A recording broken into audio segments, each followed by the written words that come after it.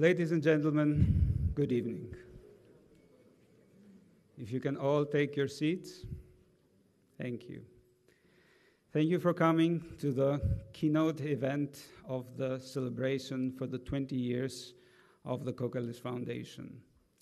At the beginning of this evening, I would like to invite the man behind the vision of the foundation, our chairman, Mr. Socrates Kokkalis, to address the gathering. Mr. Kokalis.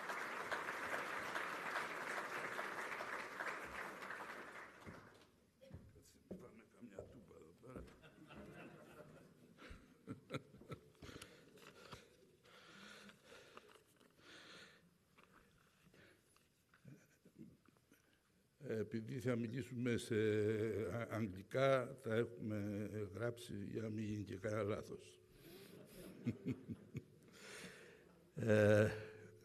Ladies and gentlemen, I would like to thank you for coming here today to celebrate the 20 years of the Kokkalis Foundation and more specifically the creation of the program for Southeastern and East Central Europe at Harvard Kennedy School of Government in 1998. Our vision at that time was uh, to help to the spread of democracy and prosperity through cooperation and good neighbor relations in the whole region of southeastern Europe, including Turkey. We thought that supporting education opportunities in public administration and the promotion of the region with hundreds of high profile events in the world's top university was the best idea. The Kokkalis program at Harvard supported about 100 degree students at the Kennedy School about 3,000 people participated in executive training programs, and many of them out to be very influential personalities today in their countries, and all of them made great use of their education and the network they built during their studies.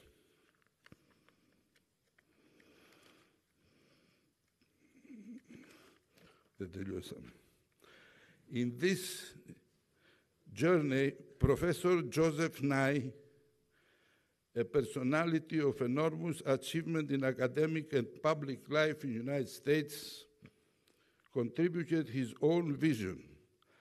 I remember that what interested him the most was that we were proposing to create a program for the whole region, not just for Greece. I went I want to thank him for his great leadership in helping establish the Kokkalis program in 1998 as Dean of the Kennedy School at the time and for all his support and friendship even since, ever since. I would also like to thank Holly Sargent, which was very helpful, and Joe McCarthy, who is today here with us, for their all persistent contribution to the success of the programs. Ladies and gentlemen, my personal conviction is that commitment to cooperation rather than antagonism is the only way for peace and prosperity, and that's what we need. Thank you very much.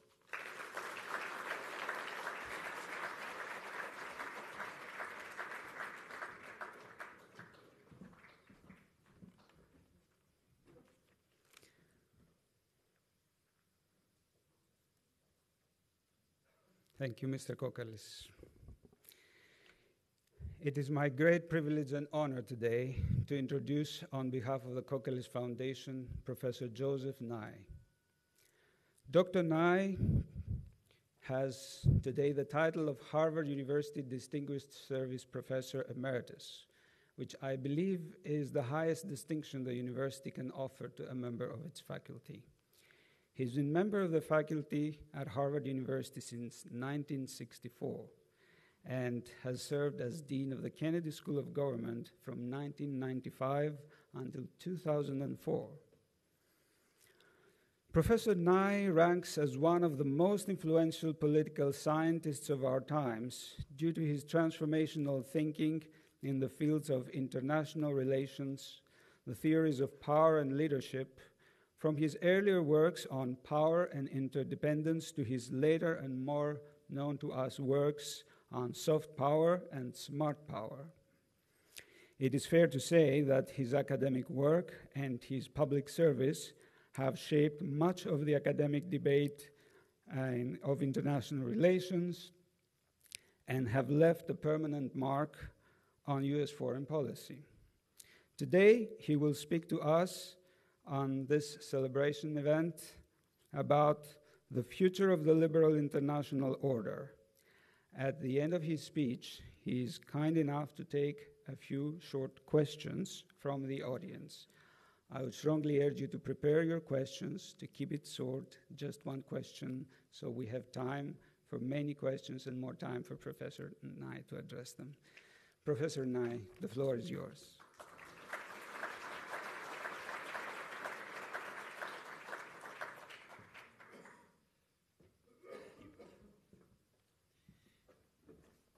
Thank you. I want to tell you what, uh, what a pleasure it is to be back in Athens, and particularly on the occasion of the 20th anniversary of the Kokkalis program at the Kennedy School. I've been spending the last week uh, uh, teaching in Oxford University, and I was planning to go on to Israel. And when I learned about the 20th anniversary of this program being held this weekend, I said, Athens. so I want to pay tribute to uh, Socrates and Eleni and the Kokkalis family and the foundation for creating a program which really was far-sighted in the sense of reaching out to, uh, as Socrates said, to the region as a whole. And I think that's uh, a real accomplishment. So I, I'm here to say, Eucharisto it's about my one word of Greek. But uh, I, my job tonight is to say to you a little bit about the future of the uh, international order, sometimes called the liberal international order. And it is not an easy task because we are living in a very strange time.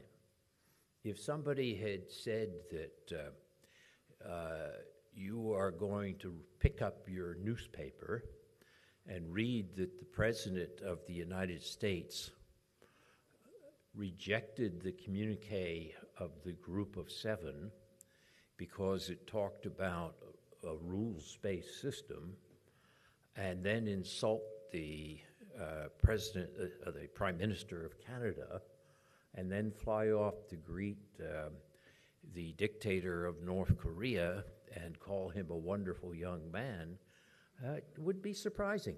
Um, you wouldn't believe, I gave you this, the newspaper with a fake headline. You say, no, get me a better one than that. That's, that's just not plausible.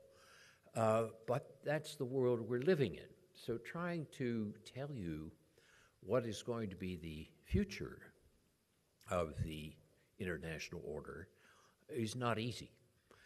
There have been a number of writers who proclaimed that the liberal international order is over. If you read somebody like Martin Wolf uh, in the Financial Times or Philip Stephens, very, very good uh, columnists, uh, they've been proclaiming the end of, of this uh, order.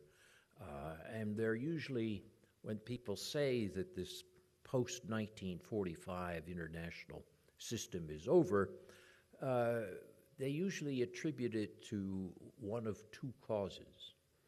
One is the rise of China, that the U.S. has declined, that China is going to pass the U.S., and that if you have an illiberal country, authoritarian country like China, it will impose a much more authoritarian international order.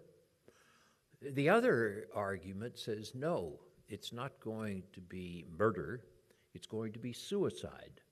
And it's not the rise of China, it's the rise of Trump. Because we've never seen a presidency like we've seen with Trump. And the actions that he's taking are the greatest threat. And that is what will end this international order. So let me speculate about both of those and try to give you my assessment, but confess in advance that nobody knows the answer. So what I will do is my best guess at, uh, at answers. Now, if we start, uh, let's, before we go to whether the, what we mean by the rise of China and whether that's going to be determining or what we mean uh, or what does the rise of Trump mean, uh, let's go back and start at the beginning. When did the United States become the world's largest power? And if you think in economic terms, about 1900, the U.S. becomes the world's largest economy at the beginning of the 20th century. But what's interesting is it doesn't use that position for the global balance of power.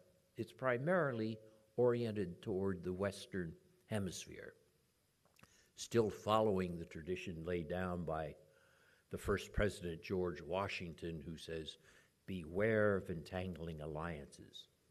So the American attitude toward Europe and the global balance of power was keep your distance. Now, what's interesting is that changes in 1917 when Woodrow Wilson intervenes in World War I and tips the balance of power in favor of France and Britain instead of Germany. But the interesting thing is the Americans don't stay involved.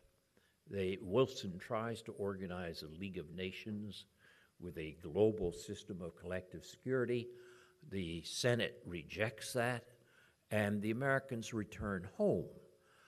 The result is a very terrible decade in the 1930s, because when the largest country does not produce global public goods, doesn't take leadership, uh, nobody does. And the great problem in the 1930s was Britain had become too weakened by World War I to play its traditional role, and the United States, which had become the strongest country, went home and uh, became a free rider. And the net effect of that was the 1930s were what the great British poet W.H. Auden has called a low, dishonest decade. It produced a terrible depression, it produced genocide, and it produced World War II. So by 1945, the American leadership believed that they couldn't do this again, that at the end of World War II, they had to stay involved. And this became particularly true when you remember uh, Greece and Turkey were under threat from the Soviet Union.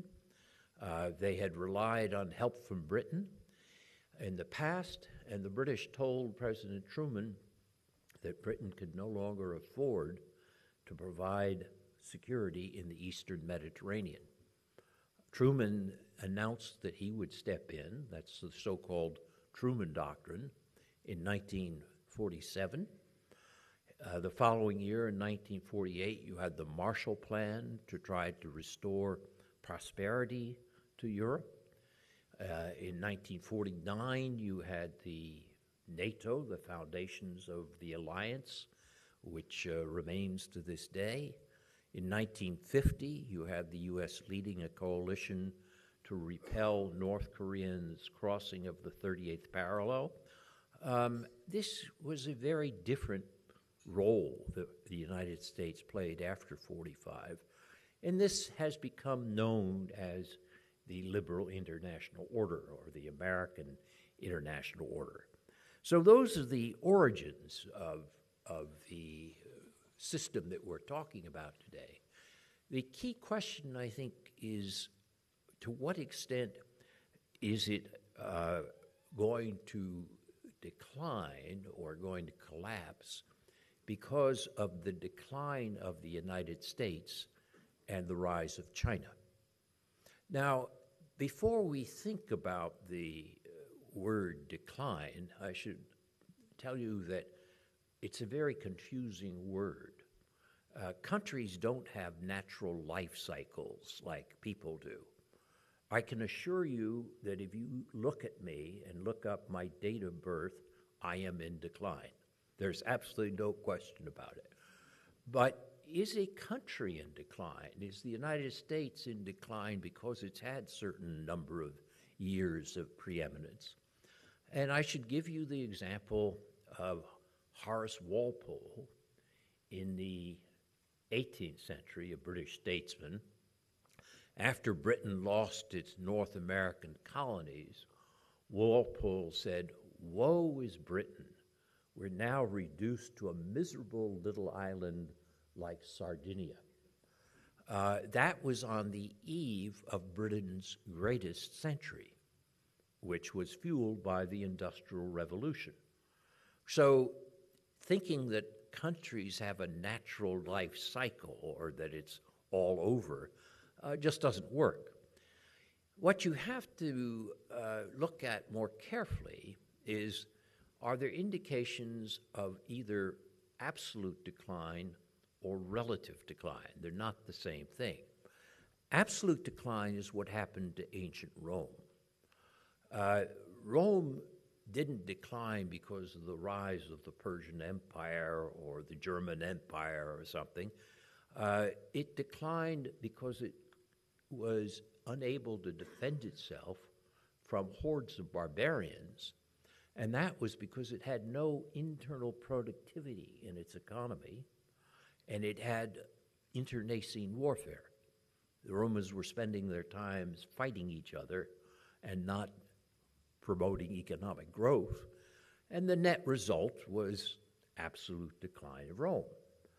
Now, what's interesting is people often will like to write editorials about America, the United States, and say, it's like Rome. We're in that phase in the decline of the Roman Empire this is the decline of the United States. But you know, it's not. There are certain long term factors about the United States which would belie that vision of absolute decline. Let me give you a few. And these are long term factors that are not affected by whether Trump is president or who's president. One is demographic when you look at the United Nations projections of demography out to 2050, the middle of our century, they show that the largest country today is China, but in 2050 it's going to be India. And the ranking of countries will be in 2050 India, China, the United States. And what's interesting is today is China, India, the United States. But the United States is the only major country which is keeping its ranking. In other words, if you look at the problems of dependency ratios, in other words, the number of people who are in the productive labor force versus dependent on assistance from those who are working, the United States is going to be doing okay. And that's a contrast with Russia, which is in severe demographic decline, Japan in demographic decline, and alas, Europe, which is also suffering demographic decline. So if you say the long run of the United States, you have to realize that in demographic terms, the country's better placed than most others. The second thing that we might look at would be energy. If we were here uh, 10 years ago, on the 10th anniversary of the Kokkalis Fellowships, uh, we would have said the American energy situation is quite hopeless, increasingly dependent upon Middle Eastern oil. And how can you be a great power when you're subject to extortion by uh, people who are owning the oil wells in the Persian Gulf. And today, it's very different.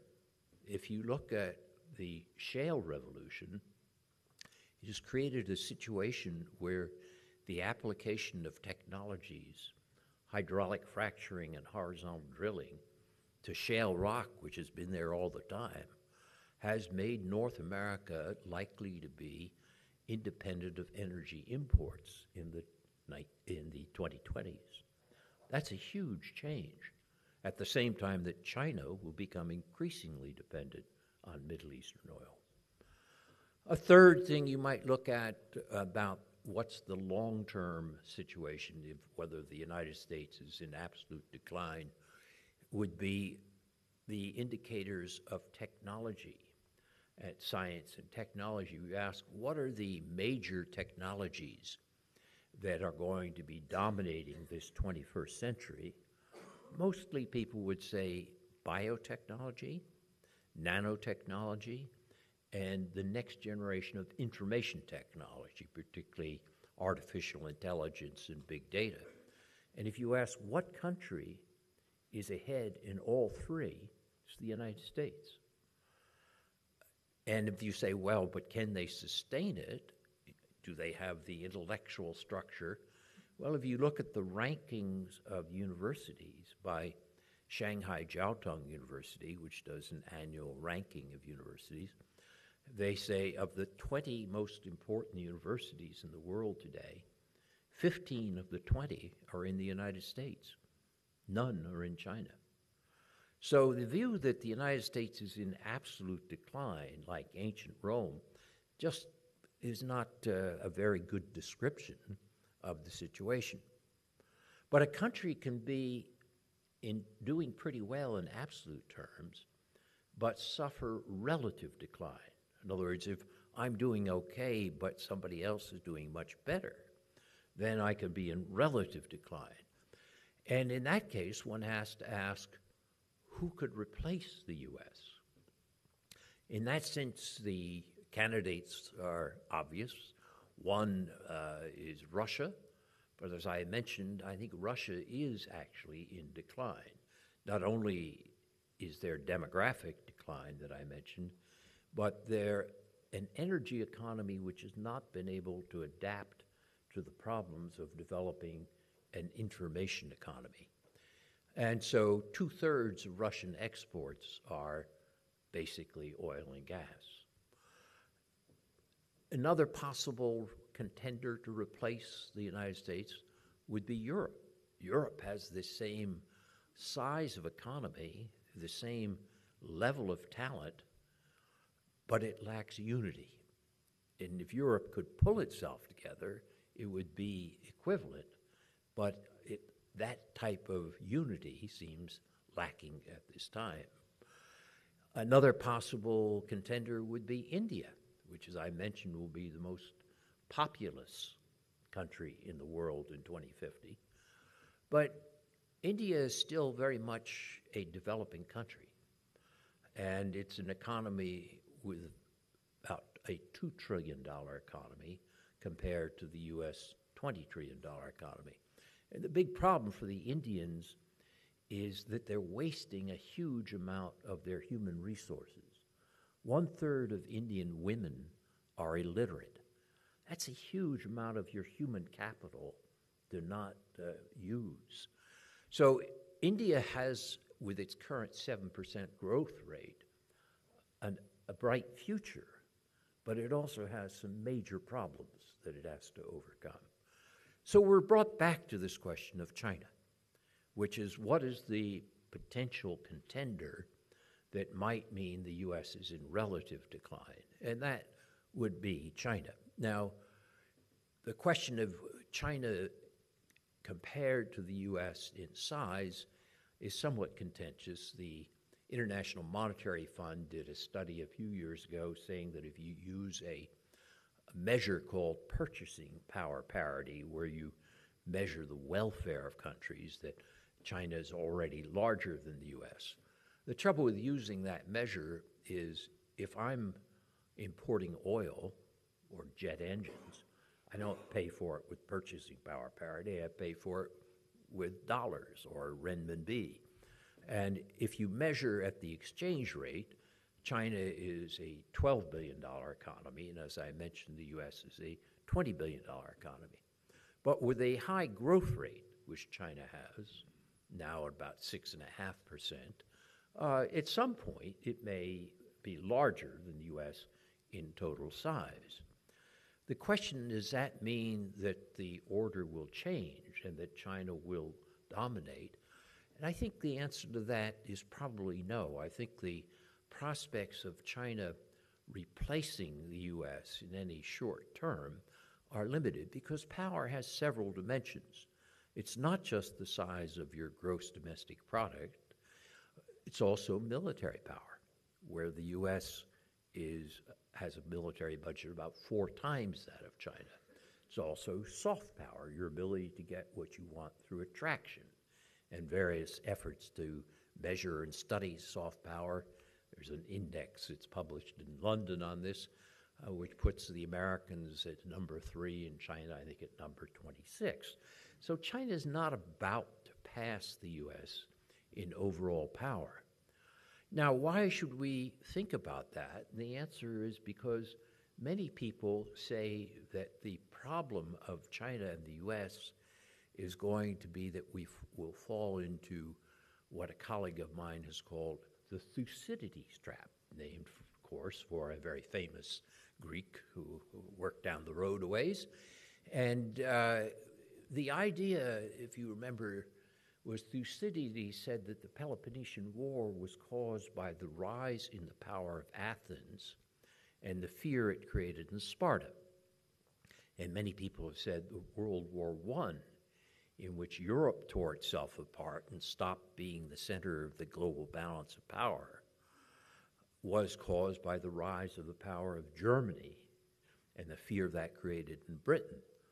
And so, this same train of thought says that the rise of China will create fear in the United States, which will lead to a war which will totally disrupt our century. I don't think that's true. And one of the reasons it's not true is if you look at 1914 and the origins of World War I, it's worth remembering that Germany had already passed Britain in industrial power 14 years before the war started. Whereas if the numbers which I just suggested to you are correct, China is not about to pass the US. It'll get close, but it's not going to pass the U.S. And if that's the case, then we don't have to be so fearful that we let this system break down. The question will be how do we incorporate China in it rather than how do we let it break apart into war? Um, so, in that view, uh, will this order succumb to the rise of China? Uh, I tend to be skeptical that that will be the cause. There's a, uh, uh, a statement that uh, Lee Kuan Yew once told me, or position that he had describing this. I used to serve on an international board with him, and we used to discuss this. Lee Kuan Yew being the former prime minister of Singapore and a very shrewd observer of both the United States and China. And I said, Do you think that China is going to pass the U.S. in the first half of the 20th century? He said, No, they're going to get close. They're going to give you a run for your money, but they're not going to pass you because China can draw on the talents of 1.3 billion people. But the U.S. draws on the talents of 7.5 billion people, and then it recombines them with a diversity which is much better for creativity than ethnic Han nationalism. Lee Kuan Yew, of course, was ethnic Han.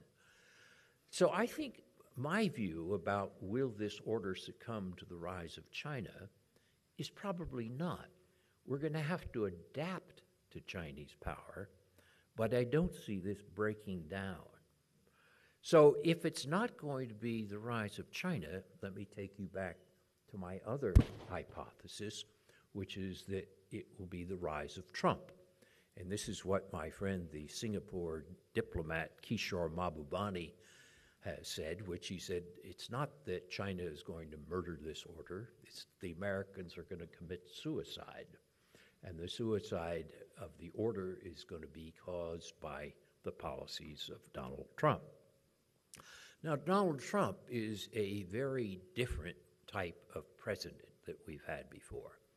Uh, there's a colleague of mine at Harvard Business School uh, who has written a book in which he says American presidents have are either filtered or unfiltered.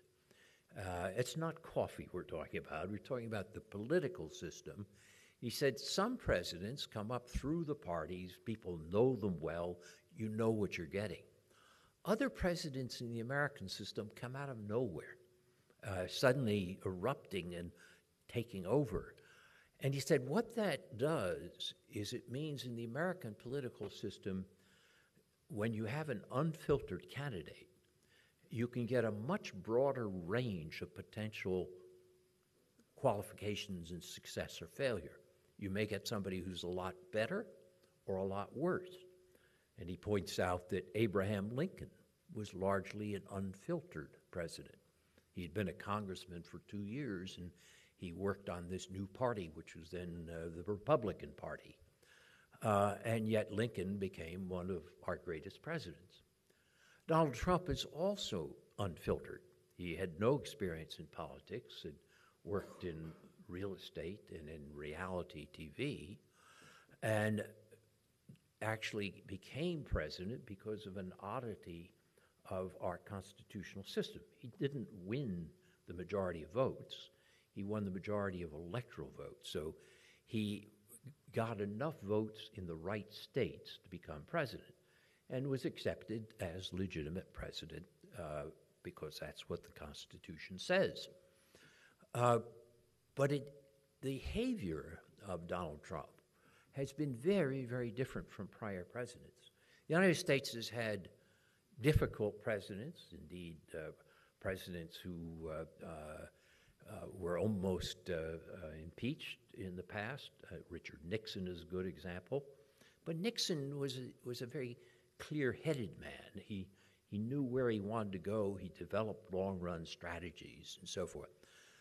Trump is very different. He has a short attention span, and he filters things through his own ego as to how he responds to things, and has very little experience of international affairs. And this is what produces things like the way I started my talk that what I thought would be an imaginary headline from last week, but which was real. An American president rejecting the communique of the Group of Seven, insulting his Canadian host, and praising a Korean dictator. Uh, that is different from other presidents' behavior. Why does he do this? What's his formation? This is not an unintelligent man. In fact, he's very smart and very shrewd. But I think to understand him, you have to understand not only the background in New York real estate, but also his background in reality TV. And in reality TV, the secret of success is to keep the camera focused on you all the time. And how do you keep the camera focused on you all the time? By being outrageous. And when people start saying, what you just said is outrageous, it's a lie, you can't. By the time they have gone to the newspapers and checked the facts and are proving that you're wrong, you go to the next outrage. And when they're checking those facts, you go to the next outrage. And that's the function of Twitter for Trump. He uses Twitter to dominate the agenda. And it's very clever. It's a little bit like, you know, if you have a dog that keeps coming and barking at your leg, you throw a bone, the dog runs away. And before the dog comes back, you throw another bone and another bone. And this is what Trump is able to do with the press and with the American political agenda. And that is not a stupid man. That is the first president in the age of social media who's learned how to control the agenda. And I think the interesting question is what will be the effect of this on the international order? Some people say that it will be a disaster. than what we saw at the G7 meeting in Quebec last week is an illustration that it will break American alliances, that withdrawal from the Iran agreement and getting turning a dispute between the United States and Iran into a dispute between the United States and Europe about companies investing in Iran, that this is going to be the destruction of the order. There are other people who say, look, that's the conventional wisdom of people like me. And that in fact, it may well be that because Trump breaks conventional wisdom and does things that are outrageous, he may pull off very large successes, which others aren't able to do. So, my uh, former colleague Niall Ferguson uh, wrote in last Sunday's uh, uh Times of London that uh, Trump might pull off something really big. Um, and if, for example, he were able to create peace on the Korean Peninsula by having real denuclearization, or if he were able to produce major change in Iran, or if he were able to uh, make China change its behavior in terms of compulsory transfer of technology in the trading system or something. These are big issues. And maybe by being outrageous, he'll be able to do what others haven't been able to do. I suspect that's not likely, but we have to leave our minds open to the possibility that an unfiltered president doing things that are very different may accomplish things that are very unlikely. The problem, however, is that there's a high cost associated with this. And this was pointed out in the London Economist in the issue last week. I don't know if any of you saw it. It had Trump hanging from a wrecking ball, you know, the type of thing you swing into buildings to break them down. And then when you look closely, the wrecking ball is the planet, Earth. And what the Economist argued that is that even if Trump were to get a big success along one of the lines that Niall Ferguson was talking about, by destroying the institutions that help countries work together, we're not going to be able to cope with the big problems that we face in the future. Many of the problems we face in the future will require us to understand power with others rather than power over others. Take climate change, for example. There's no way the United States can deal with the problem of climate change alone. There's no way China can deal with it alone, or Europe can deal with it alone. The only way to have success on dealing with climate change, which is a very real problem, my science friends tell me, is to essentially work with others. And there are going to be more issues like this pandemics, issues related to global terrorism, rules of the road for cyber, and so forth. And by turning his back on a rules based order and multilateralism and weakening our alliances, Trump is weakening our capacity to deal with this set of issues. So perhaps he would get a grand agreement on denuclearization of Korea. I can tell you in questions and answers why I think it's unlikely, but let's grant that he does. In the meantime, if he's broken the institutions that we're going to need to organize networks to work with us, others, then we're going to be all the worse off for it. So I think the big problem that we face in terms of dealing with this rules based international order or open international order or liberal international order is really not so much the rise of China. I think a key question there is can we accommodate China to work with us on issues like climate or cyber and so forth? The question is whether we will develop attitudes at home able to form those networks to maintain those alliances. And that's where I think we see the greatest danger to the liberal international order. And why I fear that Kishore Mahbubani may be right, that the danger of suicide is greater than the danger of murder. I personally uh, am mildly optimistic that this won't happen, but I say only mildly. If Trump is a four year president, I think we will recover from this. If he's an eight year president, I'm not so sure. Now, when I say this, people say, well, what are the odds? And I say, well, I've told you what I think is likely, but you shouldn't ask me about the odds. You should ask me about the size of the bet I would make.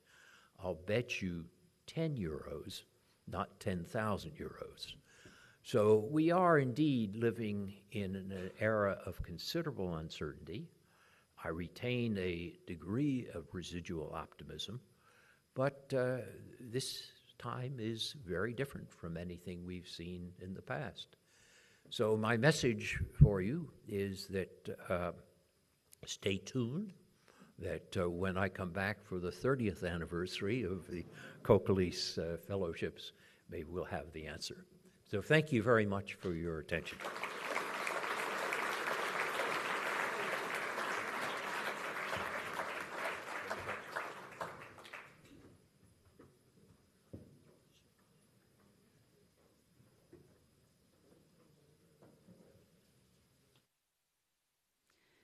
Thank you, Professor. Thank you, Professor Nye. It's always fascinating to listen to you. And the task of moderating a panel with you is uh, high enough. Now I have to moderate this wonderful audience. Um, if we were at the Kennedy School, people would be lining up behind microphones, standing microphones on the floor we're still rule based here, so the mic will, will be delivered to you.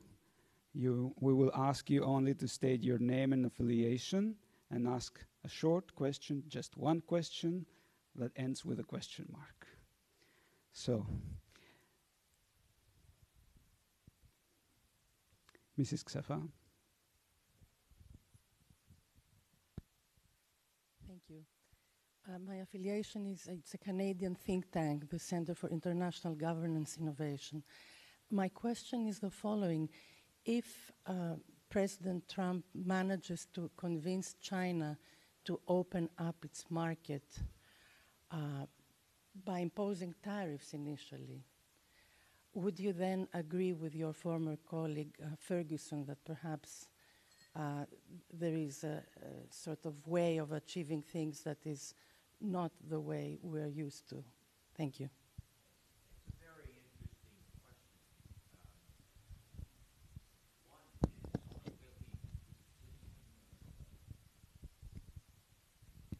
Well, the interesting question is there are two parts to it. One is, will he succeed in changing China's behavior?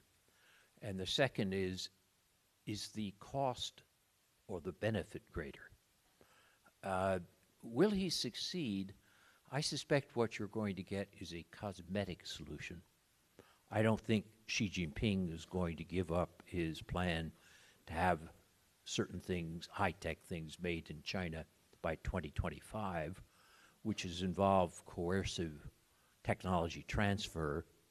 And he's also, Xi has also announced that China will lead the world in artificial intelligence in 2030. Uh, with those goals, it seems unlikely that the demands that the United States is making in relation to China's changing its policy on subsidies and tech transfer are unlikely to succeed. But Trump will need a victory, and what he'll do is focus on the bilateral balance of trade. And that's easy to get a cosmetic victory. What you do is you have the Chinese buy a lot of soybeans and get natural gas from the United States. It doesn't solve much because a bilateral trade deficit is not the key to the success economically in a multilateral world, but it allows Trump then to parade before the American people and say, look, I got a $50 billion improvement in the bilateral trade relationship. So that'll be cosmetic rather than real. Um, so that's, I think, the likely outcome. But suppose, let's grant the point that suppose he does get China to really change its policies uh, in terms of intellectual property. Um, would that be worth the fact that he will, in the process, have destroyed the World Trade Organization?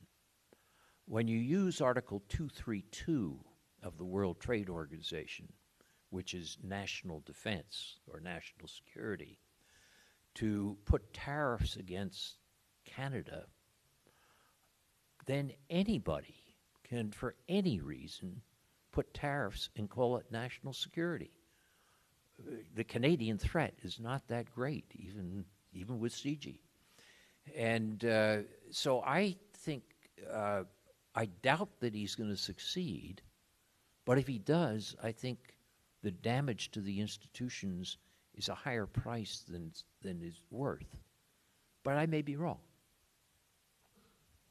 Thank you. Next question, Tessa.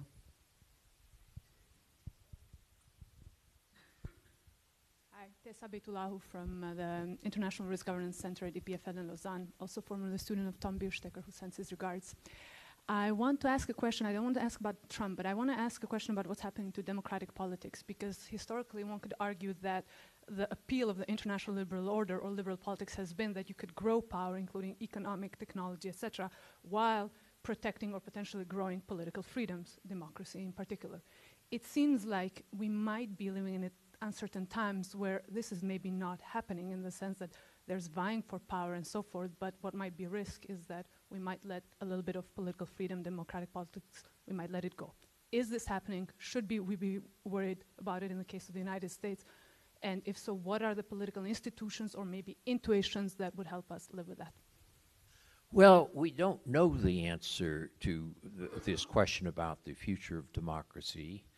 Uh, I think that despite the problems that we're seeing uh, in the American political system now, that the constitutional system of checks and balances uh, is probably going to survive this. Um, we have seen in the United States periods that are even worse.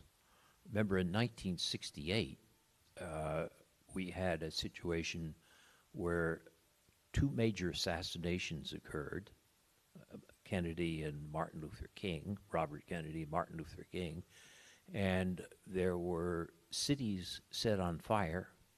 The Democratic National Convention was disrupted by riots. Um, a few years after that, uh, my building at Harvard uh, was bombed. Um, we haven't seen that kind of disruption in the U.S. democracy at this stage. But we do see uh, countries like Hungary, where Orban has declared uh, illiberal democracy. And there is a worry that that might spread. Some people say that China and Russia will together create an authoritarian front. Uh, I think that's a bit exaggerated because China and Russia still have very different, deeper interests. But China's authoritarianism is, is increasing, not decreasing. There was a theory in the 90s that with economic growth, China would not become a democracy, but at least would liberalize. And things have been moving in just the opposite direction. So uh, there are real problems in terms of democracy, um, but I think it varies by country. And I worry a little bit about generalizations that compare us to the 1930s, where there was a very real feeling that democracy was retreat around the world, that communism and fascism were taking over. I don't think we're in that situation, but we do have to spend more time asking why is it that you have some of the problems that we're having in our democracies? And uh, a lot of people are thinking about that. I don't think anybody's found any one answer. Thank you, Professor Nye. Do I see another question in the back?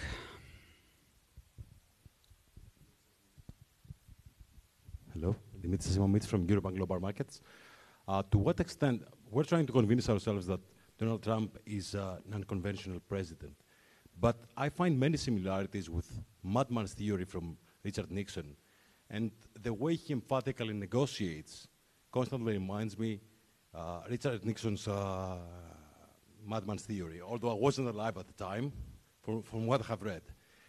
I want you, I would like you to tell me whether you think this is true, and I would like you to tell me whether you think uh, there is a basis uh, why Trump is imposing all these levies and uh, import taxes, because when Obama took over the office, the US debt stood at 9 trillion.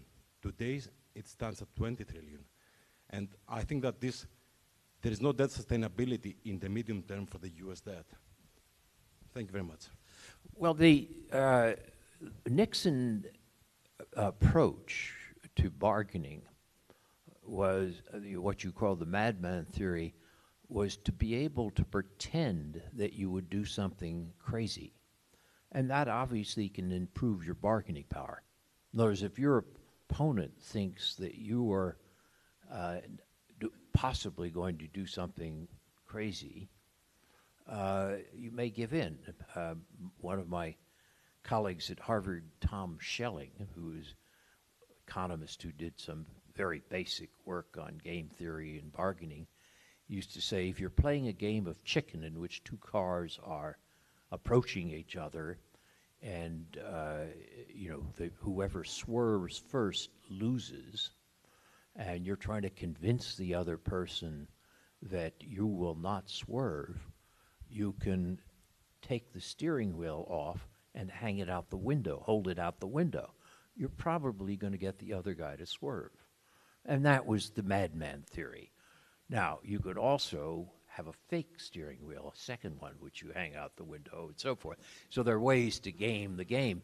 But, the, but that, uh, so in that sense, uh, Trump's approach, which is bluster, insult, seem like a madman, has a tradition in bargaining theory. The problem is it also has a cost. And uh, I think that as I said earlier, that the cost will probably exceed the benefit. I don't think he's going to be able to pull something off. Uh, remember, Nixon, for all his madman theory, Nixon had a long term strategy which changed our policy toward China. Now, Trump may think that he's doing the same thing with North Korea. I don't think so, but we'll see. But that's the, that's the analogy, and there is some theory behind the analogy. Um, but I, I don't think that there's a strategy. Nixon had a strategy. I don't see the strategy with Trump. And on the economy, uh, Trump's feeling was that uh, if you pass this tax bill and you don't worry about the deficit, the economic growth will be so great that it will take care of the deficit in the future. There's not much evidence to support that. Uh, so I think uh, I, I, remain skeptical on both the, those points. Mrs. Tzavela.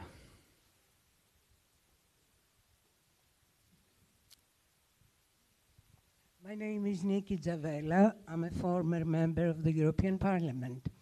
Up till the G7 summit, Brussels was preparing legislation to prevent Chinese investment in Europe. And it was almost ready. A lot of direct directives came out, you know, trying to make it hard for China to invest in Europe. The day that we had the G7, uh, the G7 summit, the following day, it was the Europe-China summit. And there was quite an opening from Europe to China. Do you see that this coalition may have a future? How do you see that going? Well, China is using its uh, economic strength um, and trade uh, both for its own economic growth and benefit, which is fine, that's a good thing, but it also uses it for politics. And uh, so Chinese investment in Europe, which is market oriented, is a good thing. But some Chinese investment is not so much interested in markets as in political influence. And I think that's where Europe is going to have to be very careful. Uh, there, if you look at the case of Sri Lanka, where the Chinese gave loans to the Sri Lankan government uh, for projects to build an airport and a port, which turned out not to have much basis in market economics. And they were unsuccessful. And the Sri Lankans then couldn't pay the loans back. And so the Chinese converted the loans into 99 year leases, meaning China owned these parts of Sri Lanka. If the Americans or British had done that 100 years ago, we would have called it colonialism. And the point is that China does, it does some things for market reasons and does them well. And to the extent to which Chinese investment has a good market basis, uh, good. But not all of the investments are based on market considerations. Another question here.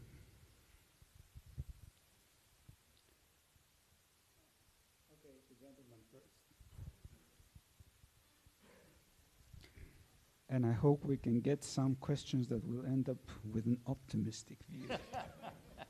okay, maybe that might be it. My name is Konstantinos Macheras from Organization Earth. Professor, you referred to um, Mr. Trump as uh, an unfiltered president. And what do you think of the argument that that, that might be an unprecedented opportunity uh, for people to react as it seems that he holds no bar? Uh, what about the argument that uh, previous presidents because of the huge charisma, like Obama, were easily forgiven for not actually changing the status quo. Thank you.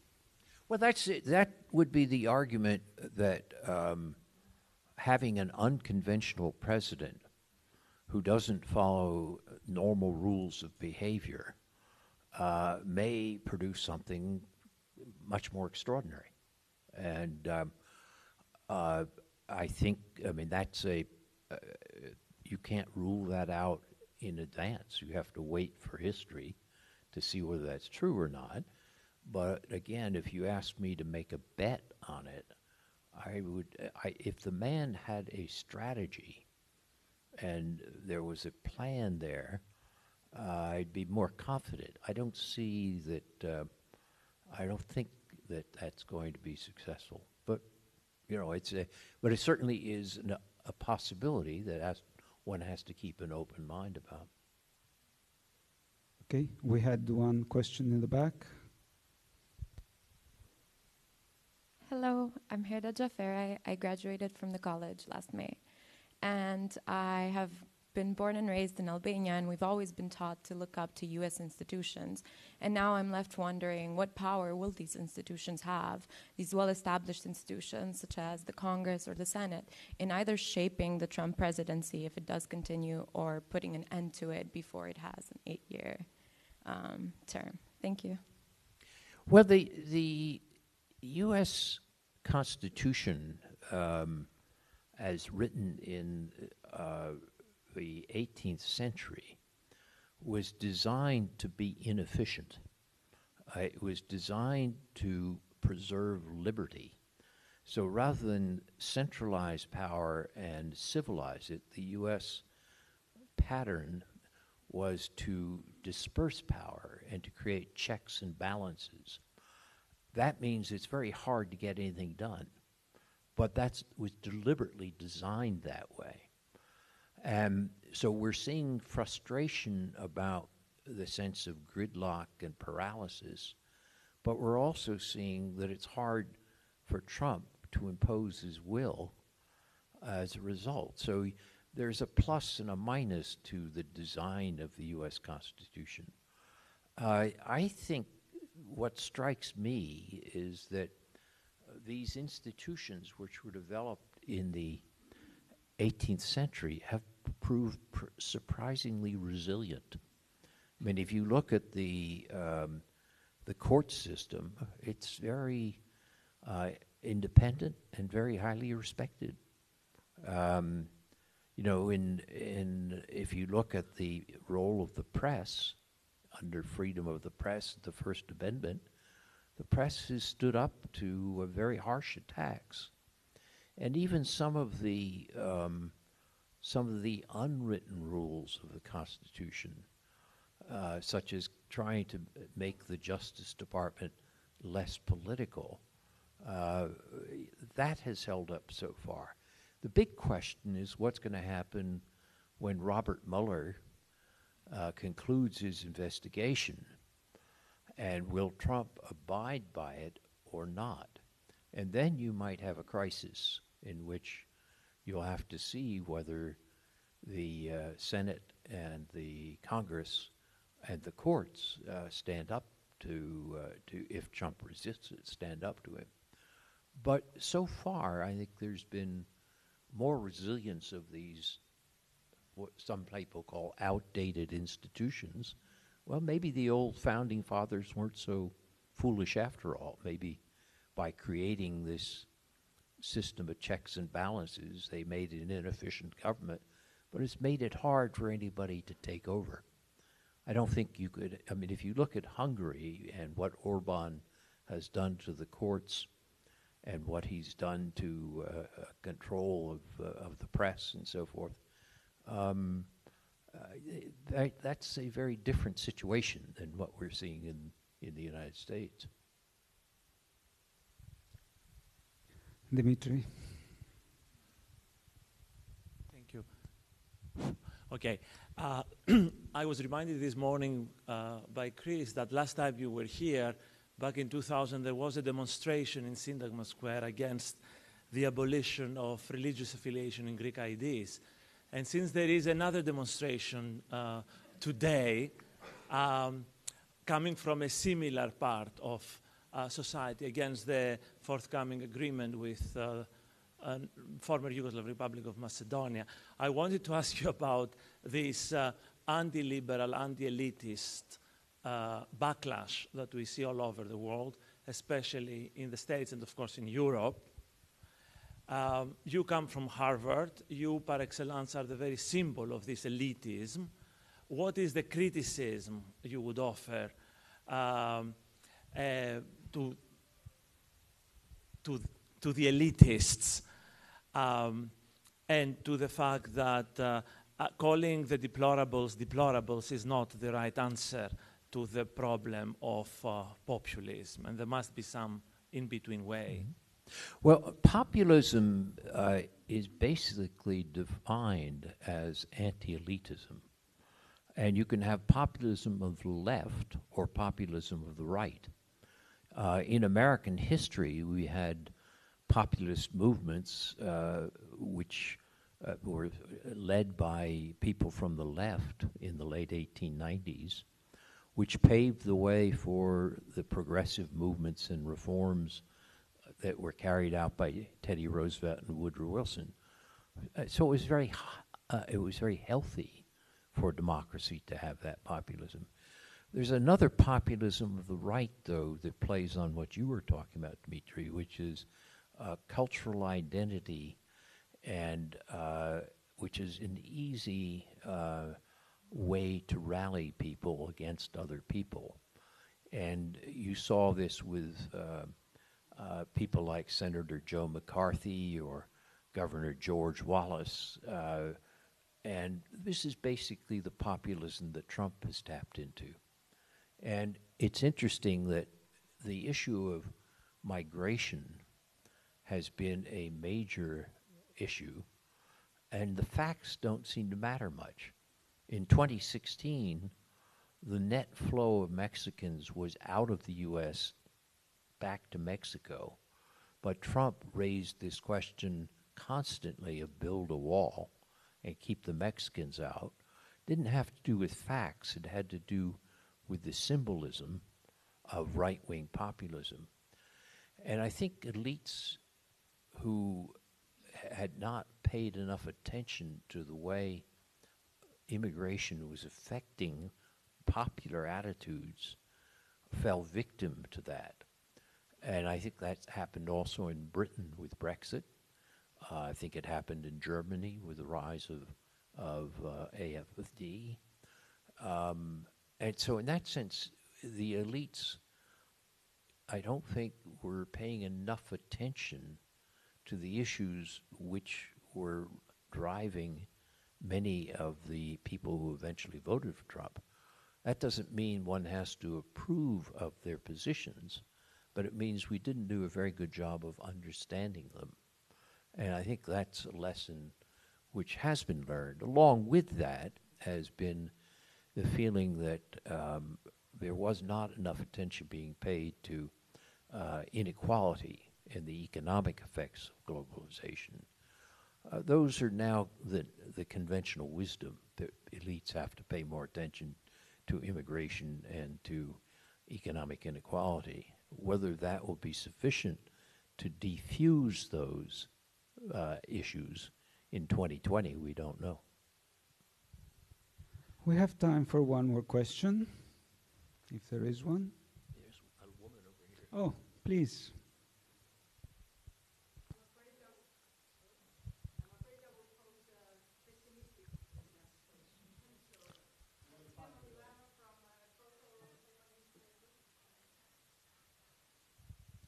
Given the countries uh, have a natural life cycle, as you said, uh, what happened with Europe? Because uh, I'm afraid that apart, you said that Europe lack, lacks unity, but uh, I'm afraid that apart from that, uh, European political system is uh, somehow obsolete and old-fashioned. So, to what extent do you think that Europe is in decline? Thank you. Well, I, I think if one takes a long perspective, uh, Europe's not doing nearly as badly as Europeans think. Uh, if you look back, let's say, to the Treaty of Rome, not Maastricht, but let's go back further, and you uh, then look at the cycles of opinion in Europe, there's almost a cyclical uh, Euro optimism Euro pessimism. You know, and right now we're on a downside of a cycle of Euro pessimism. Uh, Brexit has helped to trigger it, but the reactions to the uh, economic crisis of 2009, there are lots of the migration crisis, lots of things that are that are difficult. But think back of the Europe at the time of the Treaty of Rome, and remember that France and Germany had fought each other three times in 70 years and brought total destruction. And today, nobody would imagine anything in which you'd see that kind of fighting between European countries. This is an extraordinary accomplishment. The trouble is, it's been so good we've forgotten it. And another example would be the fact that you have created a single market. Now, there are imperfections in the single market, but it's also a very powerful market. And so much so that there's some areas where Europe is the world leader. For example, on the issues of privacy and antitrust, which the big internet companies are now having to cope with, they want access to the European market. And that's why you find that Europe is able to set the rules, and the American companies and other companies are going to have to live by those rules. So, it, the, you know, the fact that you've created a huge zone of peace, that you've created a market of great significance, which can have weight in international world, and that you have some areas where uh, Europe has taken a lead on uh, let's take climate change, ecological issues, uh, where, uh, I mean, it took a number of countries to work on it, but you have to give credit to uh, uh, Europe uh, for the efforts that went into Paris in 2015. So I, I, I think right now Europe is going through a bad spell of Euro pessimism. And it's made worse by Brexit, having just come from 10, you know, a week or so in, in uh, Britain and hearing people fight about whether Britain should uh, become a big Norway or not. I mean, there's, you know, it's, it's kind of ridiculous in some ways. But I, I find that uh, it, I think if you take a long run perspective, you'll see that Europe has not done so bad. So rather badly. So rather than end on a note of pessimism, I would uh, say that Europe, uh, while it has troubles now, um, I would be more optimistic.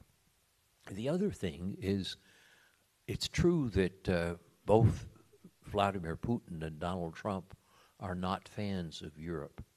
Uh, both of them would like to weaken Europe in their own ways. Trump doesn't like multilateralism. Putin doesn't like the competition. But uh, if you think about it from the American point of view, there are a large number of people in uh, the permanent civil service, in the Defense Department, the the uh, State Department, so forth. A lot of people in the Congress including staff as well as elected members, who really are very pro Europe. So while Trump could campaign on the theory that NATO was obsolete, um, it took him about four months before he realized that he wasn't going to get that through with his own supporters in his own administration, like General Mattis. And so I, I think in that sense, the European American relationship, while it looks very bad, as the story I told to begin my talk uh, illustrated, it may not be as bad as it looks if we are talking about a four year Trump presidency. Another way of thinking about this is that for the large issues that the Americans face and others, there are no two parts of the world which share more common values than Europe and the United States. The Americans can't do these things alone, and they're going to need more working with Europe. So I would end not on a note of pessimism about Europe, but say we're going to need more European leadership and more working with Europe, and Europe ought to be a little bit more confident in what is actually accomplished over the long run. I promised you that we were going to end on a rather optimistic note. Uh, I'd like to thank all of you for coming here tonight, in particular the fellows who have traveled from their countries to have a wonderful session this morning and attend the keynote event with Professor Nye. And of course, thank Professor Nye once more for a fascinating talk and for helping us navigate all these years and succeed in making the program a success at Harvard. Thank you. Well, thank you.